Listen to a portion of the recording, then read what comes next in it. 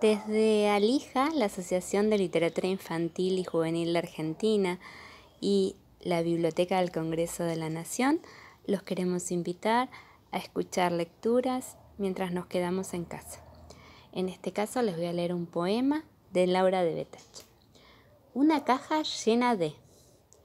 Con mi caja llena de y silbando una canción, al andar por un camino, sin querer me encontré con. Y saca, saca, que saca de mi caja llena de, nos fuimos por esos mundos más verdes que no sé qué.